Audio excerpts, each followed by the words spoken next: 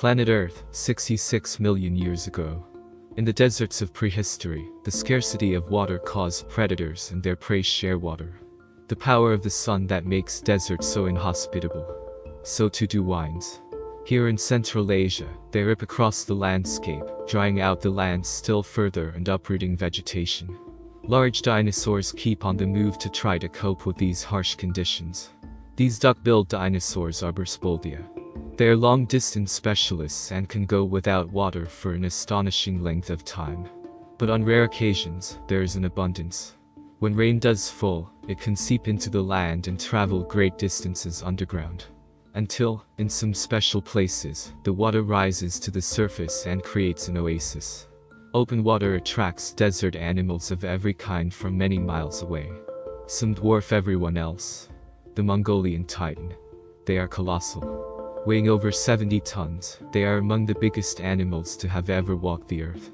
A risky place for a tiny Mononychus to come for a drink. There may be a crowd, but if you've got the longest neck on earth, you can jump the queue. Such a gathering attracts attention. A tarbosaur. But like everyone else, the hunter is here just for water. With so many thirsty mouths drinking day and night, the water doesn't last long. The animals disperse, and once again, the harsh arid conditions return. In the hot deserts of prehistoric times, there is a mysterious dinosaur, known as Mononychus. Making the most of fleeting chances is key to surviving in the desert, and some dinosaurs manage to do so very effectively indeed. Mononychus is a desert specialist. Like many desert animals, she must patrol a huge area if she is to find enough food. Bare legs help keep her body cool. Feathers on her body shield her from the sun's rays, and they provide her with a super sense. They form facial discs that help her detect the faintest of sounds.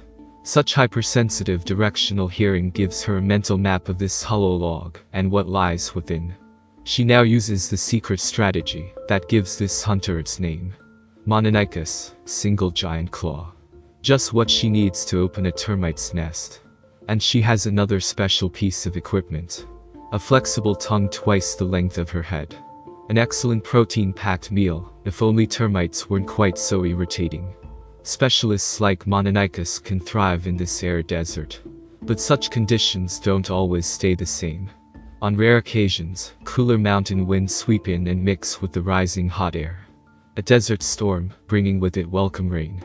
She may never before have seen the land soaked like this. It transforms this landscape in unexpected ways. Seeds that have been lying dormant burst into life. They transform this arid landscape in a matter of days. And with the vegetation comes an abundance of food, if you know how to catch it. An enantiornithines, an ancient type of bird but perhaps a little too big to tackle. It can be hard adapting to such a different and unfamiliar world. Oh, dear. Finally, she's got something. But these new challenges will be brief. One thing is certain in the desert, searing heat and scorched earth will soon return. Flowers will be nothing more than a distant memory. In the deserts of prehistoric times, there are many active predators, such as Tarbosaurus and Velociraptors. In Asia, where, in the height of summer, temperatures soar above 60 degrees Celsius, and water evaporates in an instant. There are ferocious-looking reptiles here too. But this little lizard is only a few inches long. Here, getting a meal is never easy. This immense carcass could be promising. A sauropod. A potential feast for many. But, strangely, all is quiet. Tarbosaurus the equivalent, in this desert, of T-Rex. They keep everyone else away. But for the lizard, they might bring an opportunity. If there is one thing that attracts flies more than a carcass it's a sleeping tarbosaur that has been feeding on that carcass. Time to be bold. A velociraptor. Time to be careful. Because velociraptors often hunt together. The tarbosaurs move on. And now the pterosaurs can come down and claim a share of the carcass. For the little lizard, the opportunity has gone. This are dreadnoughts. Titanosaurus, who in their time were the largest in the world. The west of South America and one of the most desolate places on this prehistoric planet. Few animals venture here, yet it is the stage for one of the most extraordinary gatherings on Earth. Dreadnoughtus. Titanosaurs. 85 feet long and weighing 40 tons. These are all males, and they're many miles from their rich forest feeding grounds. They come here for only one reason. To fight for the chance to find a partner. Crowds of females scrutinize the newly arriving males, assessing their strength and suitability.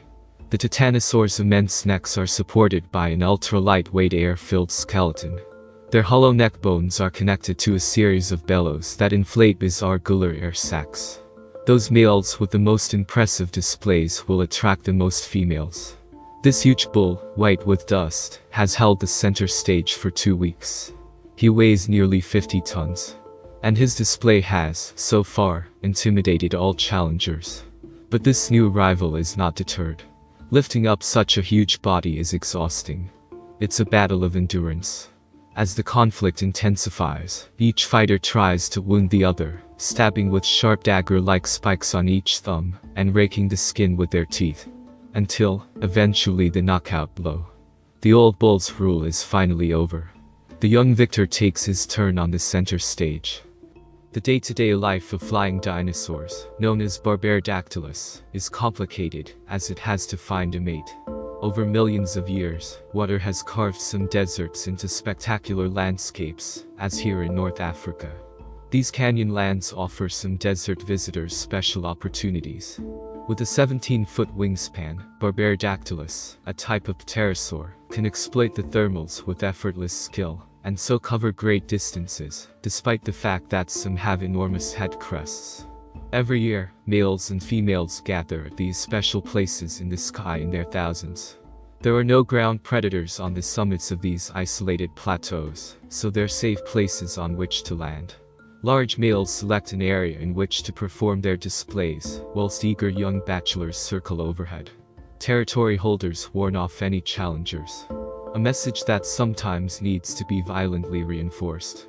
But you don't necessarily have to be a heavyweight to succeed. There are some males that don't develop the huge head crest. They're sneaky males that look like females and so, can try to remain unnoticed. It's a dangerous game to play, because are regularly on patrol. And they perform their displays. The sneak has been spotted. But in fact, he caught the eye of the large male. But the sneak pretends to be a reluctant female and rejects the male's advances. Now, back to the mission in hand, and time to make his move. Success. Large males might seem more attractive, but the females, it seems, ensure producing the fittest young by many partners as they can, whether they're impressively adorned or just sneaky. These are Secernosaurus, who cross the deserts in search of food, although some sometimes only stay behind. There are strange, otherworldly landscapes too. Such as here in South America. This may look like a dusting of snow, but these great dunes are composed not of sand, but of gypsum.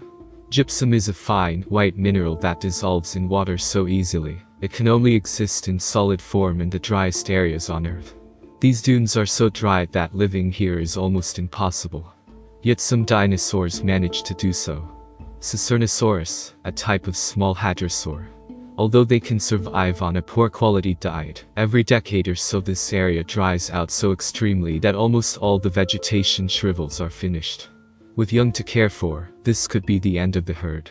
But some of the older, more experienced individuals may remember other potential sources of food and water. And they know that the way to survive is not to try to leave the desert, but to continue traveling across its baking dunes. With high winds and shifting sands, the desert is always on the move. And that makes navigation tricky. The herd prefers to travel at night. It's not only cooler, but also reveals a map that could enable an animal to find its way through the featureless yet ever-changing desert. A map in the sky. Like many migrating animals, hadrosaurs can recognize celestial signposts. By day, the blistering sun still beats down from overhead. Even if they can find shade, this for some could be journey's end. But there is something else that may help them. The deep rumbling sound of waves crashing onto the distant shoreline travels for miles through the dunes. The sound is so low that many animals cannot hear it. But hadrosaurs can, and so are able to find their way towards the coast. But this desert still has one more obstacle that must be overcome. Giant coastal dunes block their path. Steep, unstable sand saps energy with every step. They have made it. And their first reward is to lick droplets of water that condense on their skin from the fog that forms where dunes and ocean meet. And this fog also nourishes a rich coastal paradise.